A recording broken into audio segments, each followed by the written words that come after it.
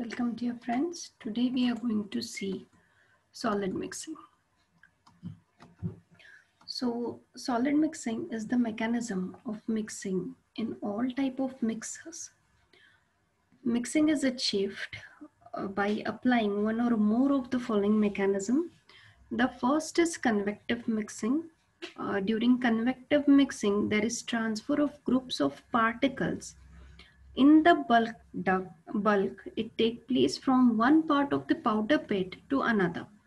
So convective mixing is referred to as macro mixing. Now what is said here that convective mixing, it involves transfer of the groups of particles from one part to another in the powder bed. Okay, in that equipment. So let us see how does it operate. So here when this mixture uh, mixer shakes. At that time we can see the bulk of the powder. It moves from one point to another. So this process it goes on continuously.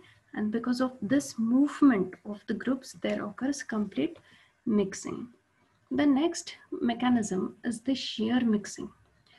So during shear mixing the forces of attraction they are broken down so as that each particle it will move on its own between regions of different compositions and also parallel to the surface.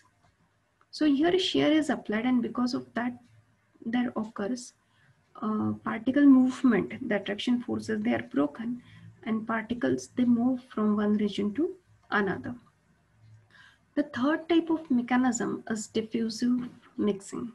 So during this mixing, the materials they are tilted so that the gravitational forces cause the upper layers to slip and diffusion of individual particle take place over newly developed surfaces.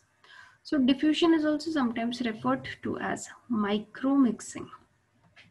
So this was all about the mechanisms of mixing. Thank you for watching.